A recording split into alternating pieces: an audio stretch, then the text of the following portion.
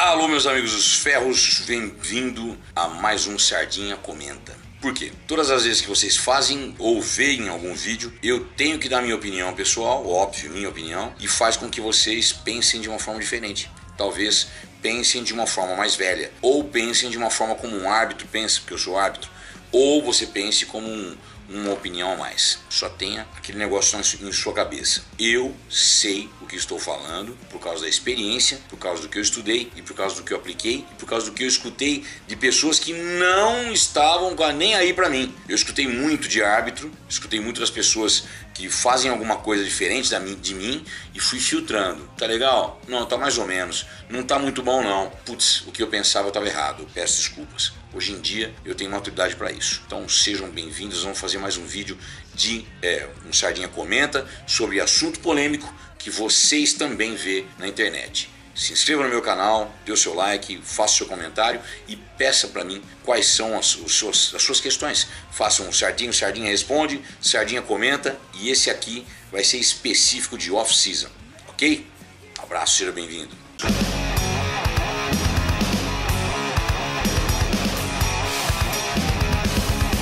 Nesse vídeo tem aqui a apresentação de alguns atletas, incluindo o Mr. Olympia Sean Roden, no campeonato da NPC, todos eles em off-season. Né? E aqui tá correndo aí o, o, o Sean Roden. Bom, eu vou, eu vou. Eu tenho que ser assim, muito sincero com vocês, porque a gente tem uma noção básica de que gosto pessoal não se discute, uh, cada um tem o seu jeito de pensar sobre off-season, sobre pré-contas, isso aí tá tudo certo eu tenho que analisar friamente qual foi o trabalho que o cara está fazendo. Gente, uh, eu tenho que ser bem carinhoso para não ficar meio agressivo demais. O Shaw Roden está irreconhecível. Você acha realmente que isto é um off-season?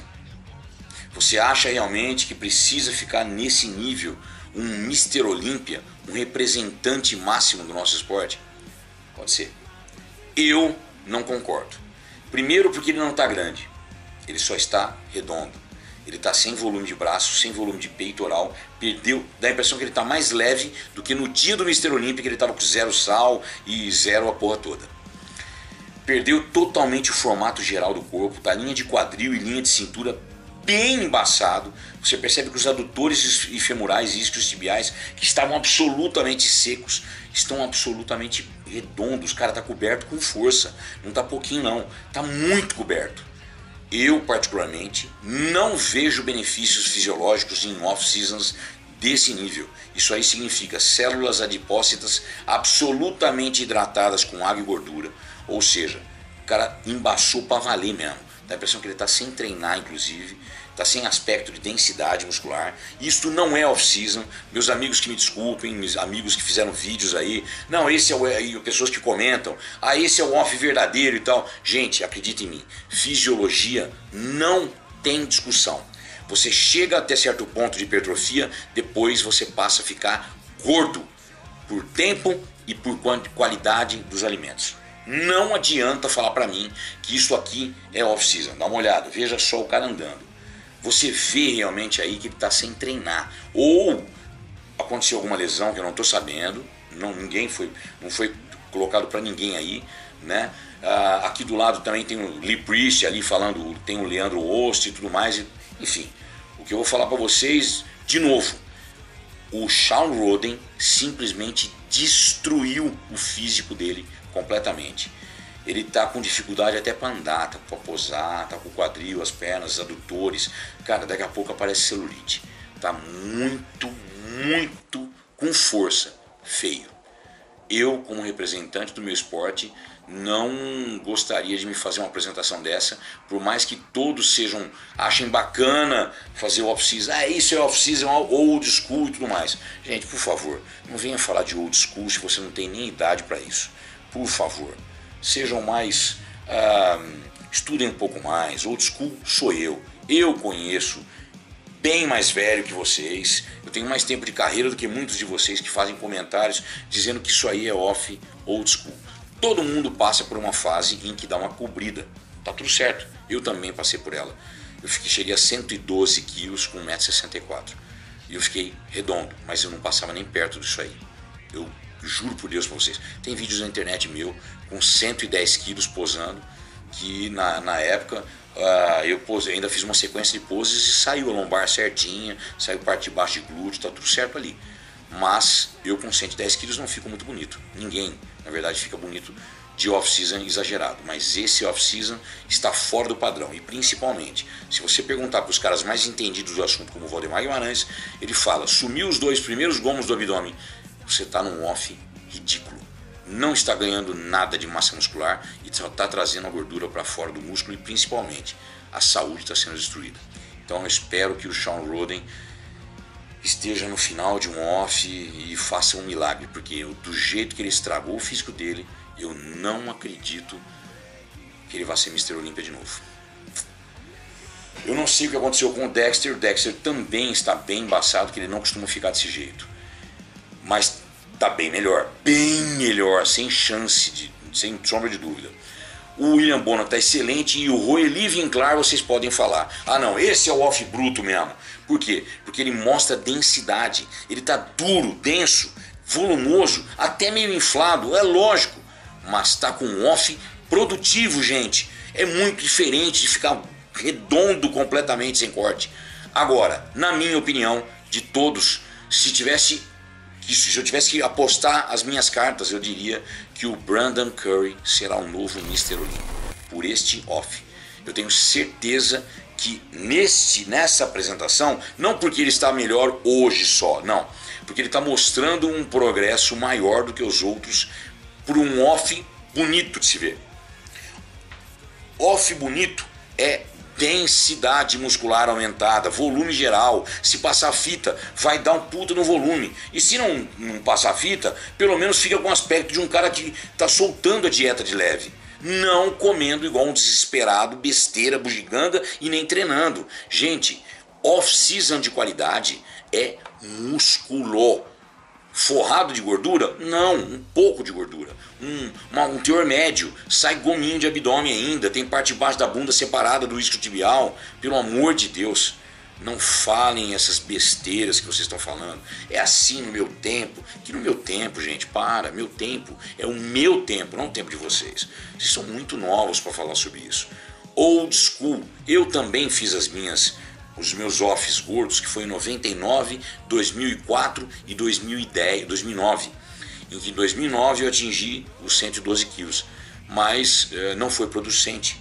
Foi producente durante um tempo, mas é... e outra coisa, hein? Eu fiquei 10 vezes mais seco do que tal tá o Sean Roden ali, pelo amor de Deus. Então, Roeli Vinclar, este é o off que está garantido. Ó, tem meu aval. Meu aval, quem sou eu, né? Mas, na minha humilde opinião, Roeli Vinclar, excepcional. William Bonac, excepcional. É, Brandon Curry, o melhor. Se tivesse que apostar as minhas cartas para quem vai melhorar daí até o Mr. Olympia, Brandon Curry é o novo Mr. Olympia para mim. Ou Roeli Vinclar, se ele fizer o milagre que ele falou que ia, ia ter quando faltavam duas semanas para o Arnold Classic e que ele fez uma apresentação e todo mundo olhou, eu achei ele de off. E ele foi pro Arnold e não se deu bem e não merecia. Tem mais, não merecia.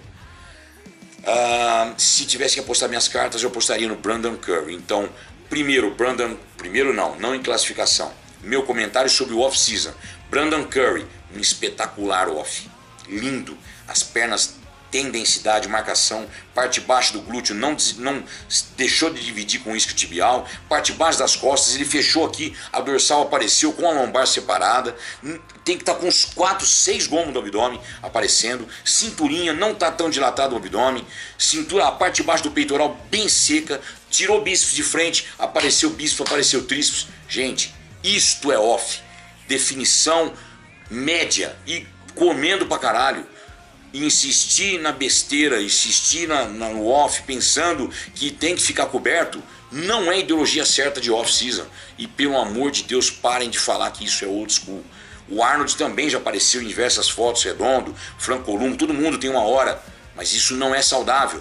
E isto não é producente fisiologicamente falando. Producente é quando você cresce tudo e cresce com densidade. Roeli Vinclar, Brandon Curry e Dexter Jackson, não gostei muito do off, do off dele. Ele costuma ficar mais magro que isso. Mas Tudo bem, vocês vão falar que eu sou defensor de ficar magro o ano inteiro porque eu sou assim. Eu sou diferente. Eu gosto de ser diferente. Eu prefiro do que. Eu não, eu não posso tentar, nesse, nessa época da minha vida, com 50 anos, tentar ganhar 110 quilos. Não é a minha ideia. A minha ideia é ficar mais para sequinho. Eu tenho que ficar cada vez mais seco. Quanto mais seco, mais vantagens eu vou ter na categoria Master e mesmo na categoria de peso. Então eu preciso me preocupar com a dieta o ano todo. Meu off é magro e eu não tenho praticamente off. Agora, nesse caso do Sean Roden, gente, na boa, eu, eu, eu nunca faria uma apresentação dessa. Jamais. Ele simplesmente destruiu o físico dele. Os braços estão pequenos, porque o braço é uma grande deficiência dele. Fica muito bonito duplo bíceps de frente, porque é estético. E os bíceps são razoáveis, os tríceps são fracos, bem fracos. Se você parar para pensar, a pose dele de frente assim é fraca de braço, aqui, né? A pose do, do, do Kevin DeVrone é, sai muito fraco de tríceps. E é ali que o Phil Heath ganha dele 10 vezes. Outra coisa, pelo fato de ele ter perdido o volume geral, ele perdeu o volume, gente. Pelo amor de Deus, é só olhar. Peito, costas também perderam volume. As costas, Phil Heath ganha dele disparado, ganha três notas na frente, duas, três notas, pode falar. Né? No, no, no, âmbito arbitrário, virou de costas, o Phil Heath é melhor. Só que ele estava com uma separação de glúteo femoral muito boa, parte baixa das costas fibrada, cinturinha fina e o ombro bem saltando para fora os deltoides. Gente, cadê o volume das costas do cara? Cadê o volume dos braços? O cara perdeu o volume do músculo fraco e embaçou desse jeito, totalmente coberto. Pelo amor de Deus, façam uma reflexãozinha nos comentários que vocês estão fazendo. Isto não é off-season off fisiologicamente correto. Correto, bom, saudável, nada disso. Ainda mais ele sendo Mr. Olympia. Então, para mim, se eu tivesse que apostar, o Brandon Curry é o novo favorito ao título. Se o Phil Heath voltar, ele ganha. Ou o Kai Green voltar. Vocês sabem muito bem da minha. Eu tenho uma, uma um quê com o Kai Green, porque eu acredito que o Kai Green é o cara que mais progrediu de todos os físicos que eu já vi. E é um cara de proporções espetaculares, assim, além de ser um showman nas suas apresentações, porque musculação é posar. Simples assim. Então, Brandon Curry e o Ray Vinclar, offs maravilhosos. William Bonac, ótimo off. Hum, acabou de sair do Arnold e tal, mas ele e o Ray Vinclar, os dois estão fazendo offs muito bons. Entende a diferença? Densidade, músculo crescendo com um pouco de gordura. Agora, gordura crescendo pra caralho e não aumentar o músculo, aí é demais pra minha cabeça. Sean Roden, me fiquei bem decepcionado. Um dos físicos mais bonitos, mas eu acredito que ele seja muito frágil. O título do Mr. Olympia de 2018 é muito frágil. O físico dele, se não estiver impecável, não vai ganhar de novo. Quer apostar comigo? Deixe seu comentário comentário educado, porque senão, já sabe. Se inscreva no meu canal. Esse foi mais um Sardinha Comenta sobre off-seasons, o que eu acho certo para a saúde, não importa. Tudo bem, você vai falar bobagem, que é besteira falar sobre isso? Eu não acho não. Porque para quem tem 34 anos de carreira, eu não arriscaria minha saúde me transformando num anti-atleta, principalmente se eu fosse Mr. Olímpia. Respondeu a tua pergunta? Um abraço.